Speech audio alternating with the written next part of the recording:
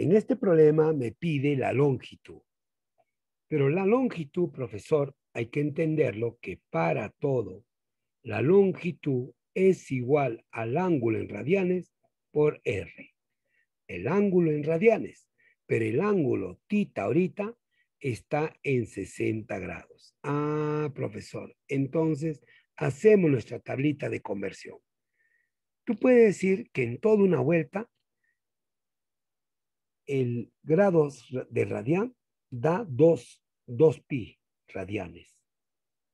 Y el grado sexagesimal, 360. Toda una vuelta. Entonces, profesor, aquí podemos decir, en una vuelta de giro, sucede que en radianes da, en radianes da 2 pi radianes y en sexagesimal da 360 grados. Muy bien, es una equivalencia.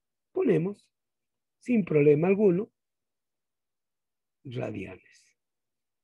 Sexagesimal, sexagesimal. Y queden radianes. ¿ve? Entonces, la conversión sería mitad 1. Ay, ay, ay. Más fácil era así. 0 y 0. Sexta 1, sexta 6. Ahora sí, mitad 1, mitad 3 y quedó pi tercios radianes. Ahora sí, ve, date cuenta. Entonces, profesor, diríamos nosotros, entonces, la longitud será igual, muy bien, a los radianes, tita, pi sobre 3, multiplicado por el radio, que vale 12 centímetros. Tercia 1, tercia 4.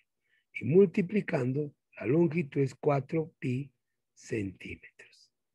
Ahora, si por n motivo quieres en centímetros, esto equivale geométricamente a 3,14, 16, pero 3,14, aproximadamente 4 por 4, 16, llevo 1, 4 por 1, 4, más 1, 5, 3 por 4, 12. Ahí está la respuesta. ¿Qué tal, mi querido amigo? ¿Estamos de acuerdo? La longitud vale de ese arco 12,56. Academia Dinos, clase personalizada.